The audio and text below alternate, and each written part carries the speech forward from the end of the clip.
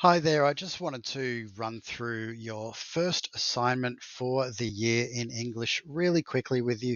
I say really quickly, but despite my best attempts, this is probably going to be a longer video than I intended. Feel free to run it at twice speed if that makes you happy.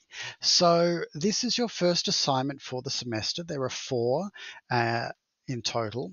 This first one being worth 25%. It is your in-class responding task. It is going to take place at this stage during the double lesson of week four. Um, please stay, uh, please pay attention to the classroom. We will let you know the specific date in your specific class. It will take a full two hours. That means we'll go straight through the double, straight through the lunch break, and we will end the lesson early rather than taking a break in the middle. Um, the rest of that information you're able to read at your own leisure. I would like to draw your attention to the Declaration of Original Work. As you will know, as we will discuss in class, we take original work incredibly seriously at the college level so there's some information there that you're able to click on and read uh, in order to get a strong understanding of what academic integrity means, um, particularly in terms of an in-class task such as the one we're going to do.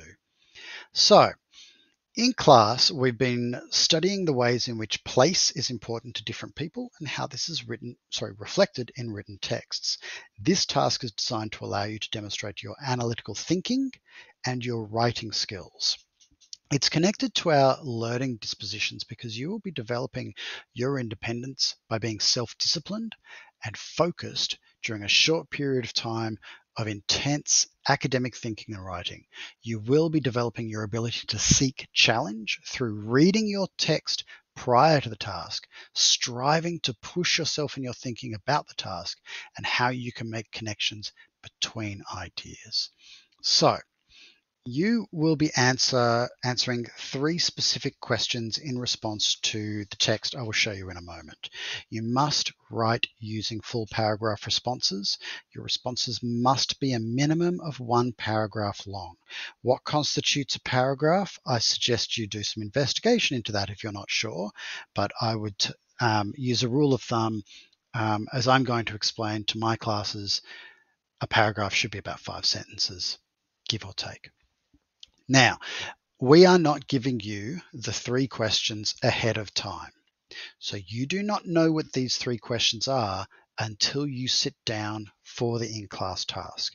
You will, however, have read the story um, at least once, preferably more times than that.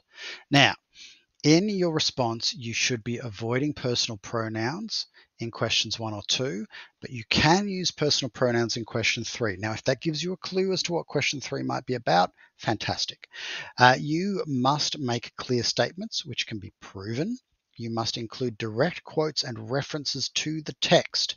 Your teacher will talk about that in class, and you must write in full paragraphs. It's so important for this task. It's part of what we're marking. Uh, so in terms of the assessment criteria, you can read that there that is directly taken from the framework. Um, and you can see additional information here about relevant BSSS policies. For our purposes, um, a substantial attempt on an assignment, if you do not make a substantial attempt, it is considered to be a non-submission and that can feed into V grading English, which we want to avoid. So for our purposes, a substantial task is considered to be a minimum of one paragraph per question directly answering the provided questions. Okay. Um, any less than that will not be considered a substantial attempt, and we will have a discussion with you individually. Um, now, due dates are also incredibly important. So if you miss the double lesson in which this task takes place, it's, I can't stress to you enough how important it is that you get a medical certificate to cover your absence for the day.